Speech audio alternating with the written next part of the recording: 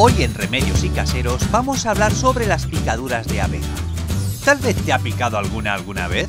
¿No? Pues mucho mejor. Mira, te propongo que veas el vídeo porque creo que te va a interesar. Venga, va, que comenzamos. Hola, hola, muy buenas a todos amigos y bienvenidos de nuevo a nuestro canal de Remedios y Caseros. Oye, una pregunta. ¿Alguna vez te ha picado alguna abeja? ¿No? Pues mira qué suerte, porque su picadura duele un montón. Mira, la verdad que para la mayoría de las personas, las picaduras de abejas les producen molestias leves. Sin embargo, en ocasiones pueden ser bastante problemáticas. Así que hoy vamos a ver cómo tratarlas adecuadamente. Venga, vamos a ver. Bien, mira, imagínate que vas por el campo, te acercas a unos matorrales y por mala suerte te das con un panal de abejas. Y una de ellas o varias te pican. ¿Sabes tal vez qué es lo que tienes que hacer o cómo actuar ante este caso?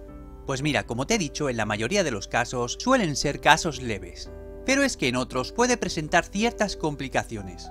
Es por ese motivo que es muy importante aprender un poco de primeros auxilios para atender este tipo de problemas. Así que vamos a empezar. Venga, va, Mariano, dale al play.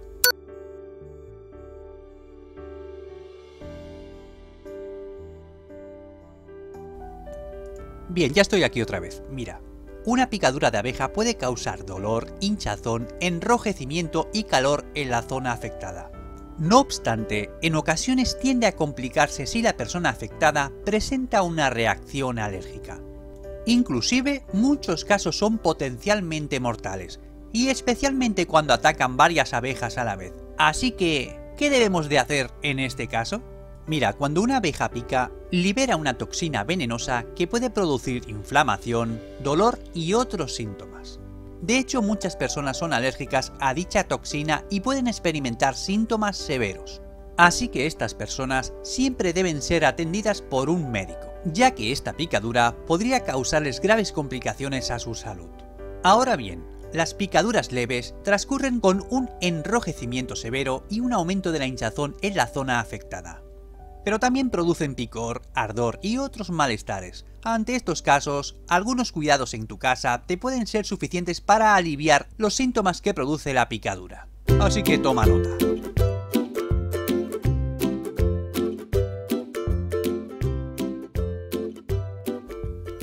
Bien, imagínate que te acaba de picar una abeja. Pues mira, cuando la abeja pica, su aguijón suele quedar insertado en la piel. Después de esto, la abeja muere. Así es. De hecho, es el único insecto que muere tras la picadura. Bien, ahora es muy importante quitarte el aguijón lo antes posible. Sin embargo, se deben de evitar métodos bruscos como el uso de pinzas o similares, ya que la forma correcta de hacerlo es raspar suavemente un objeto de borde plano sobre la piel, como pudiera ser una tarjeta de crédito o un documento de identidad. A continuación, si ya estamos en casa, lo segundo que haremos será lavar la zona de la picadura con agua y jabón, ya que uno de los primeros riesgos de las picaduras de abeja son las infecciones. Por este motivo, tras sufrir una picadura se debe de lavar la zona afectada con agua y jabón antibacteriano. Venga va, no te marches que te sigo explicando.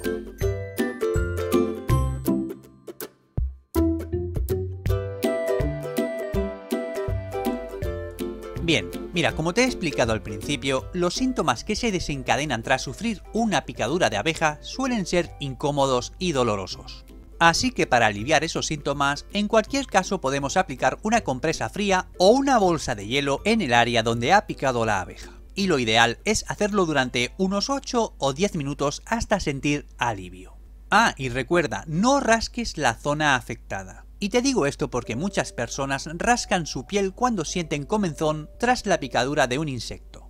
Y es que esto en realidad es un error. Aunque inicialmente causa cierta sensación de alivio, rascar la piel va a aumentar la hinchazón y prolongar la picazón y elevar el riesgo de infección. Por lo tanto, debes de evitar por completo a rascarte la zona.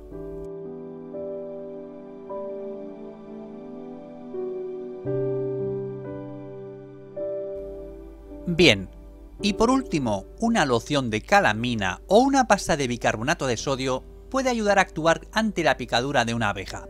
Y es que lo ideal es utilizarlas varias veces al día para mantener bajo control el ardor y la comenzón. La loción de calamina es un producto antihistamínico disponible en farmacias, pero si no quieres acudir a la farmacia, puedes utilizar bicarbonato de sodio. Así que mezcla una cucharadita de bicarbonato a la que le tienes que añadir un poquito de agua y la aplicas en la zona donde te ha picado la abeja.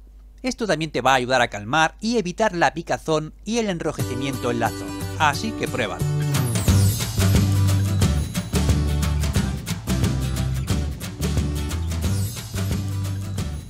Mira, la mayor parte de las veces se puede actuar ante una picadura de abeja sin acudir al médico. Sin embargo, existen algunas complicaciones que deben ser siempre evaluadas por un médico.